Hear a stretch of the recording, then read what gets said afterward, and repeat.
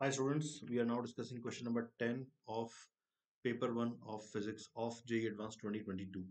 So this circuit is given to us. All the resistance in this circuit is 1 ohm which makes the question a bit easier and the resistances have been labeled from 1 to 8 and we've been given two ideal batteries the EMF of which are mentioned here. This one is having an EMF of 6 volt, this one is having an EMF of 12 volt and then the option talks about the current through different resistances. So uh, there are four different resistances given in the four options. So we need to find current through these four resistances.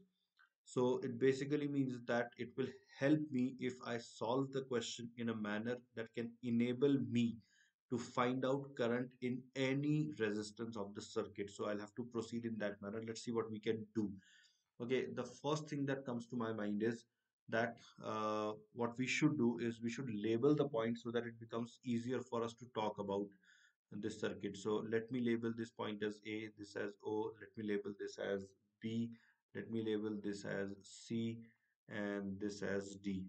Okay now uh, this circuit is symmetric about the line AOB or about a plane passing through AOB so we can flip this circuit. We can flip the bottom half, the lower half of the circuit over the upper half so that C and D point merge with each other and then we can convert this circuit into a circuit like this. Let me draw it here uh, or maybe let me draw it at uh, the next page.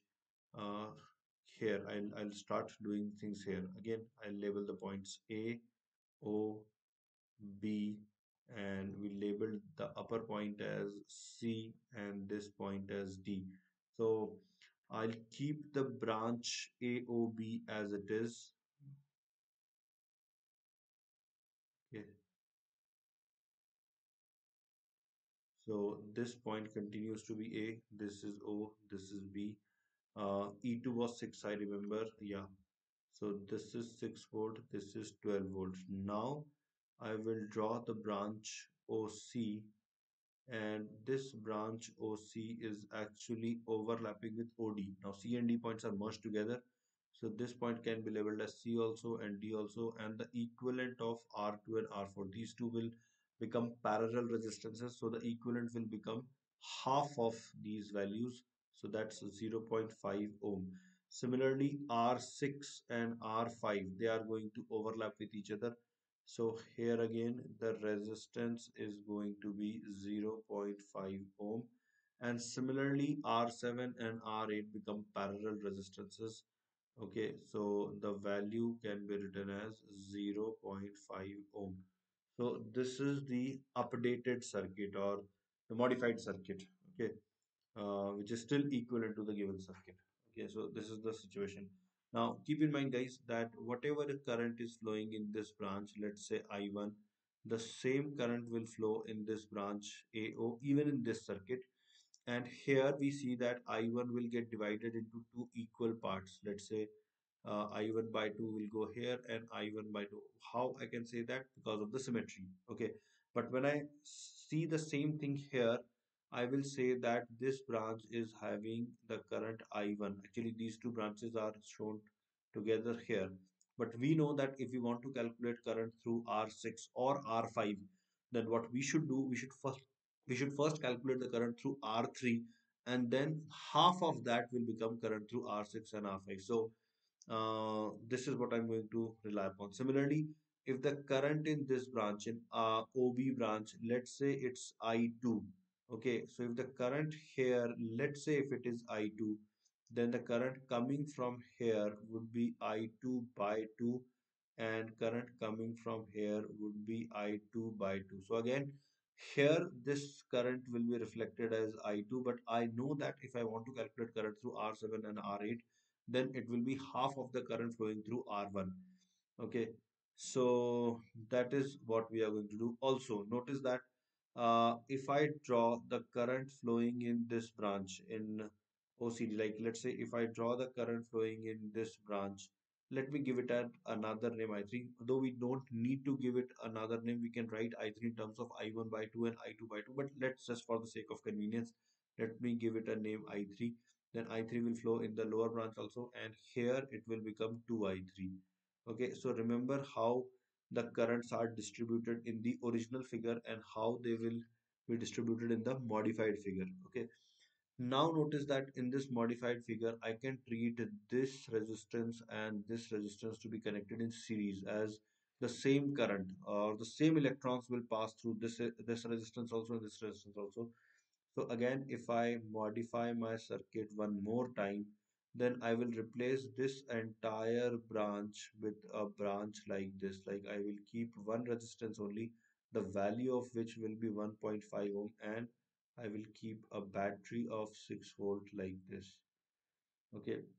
Similarly, I can do the same thing with the other branch. I can replace the entire branch with one resistance instead of two, the value of which will be 1.5 and we will have a battery of 12 volt like this. So this circuit and this circuit are same and if I now write the currents, okay, if I now, write the current here, there is some current which is I1 let's say uh, here there is some current which is I2 let's say here we have some current which is 2i3 let's say. So this is how the currents are flowing in this branch. Now this is just for our own understanding that i have named currents here but i'm going to solve this circuit uh, by point potential method. So i will assume zero potential to be present at the these points. Let me mark these points in green color. So all these points have same potential which is zero which would mean that this points these points have a potential of 6 volt which would mean that these points have a potential of minus 12 volt. And we don't know the potential of these points. Let's call that as Vx so we will now try to find the value of Vx and for that I'm going to write that the net outward current from this particular node which node C and D node. Okay that is 0 and how do I write that? I'm going to write Vx minus Vx minus this value which is 6 divided by this resistance which is 1.5 okay so plus. So I've written the current flowing in this branch. Now the current flowing in the other branch that would be Vx minus minus 12 upon 1.5 again as this resistance is 1.5 and then finally I'm going to write Vx minus 0 divided by this resistance which is how much which is zero point 0.5 okay so 0 0.5 equal to 0 now this equation has only one unknown and that is Vx. When you solve for the value of Vx when you solve this equation you end uh, you end up getting Vx equals to minus 1.2 volt. Now that we have the value of the potential of this point, we can readily write the currents. For example, how much will be I1? I will directly write the value of I1 now. Okay, I1 can be written as 6 minus minus 1.2. That means this minus this divided by 1.5 and this will turn out to be 7.2 divided by 1.5 which will be 4.8 ampere. So I1 turns out to be 4.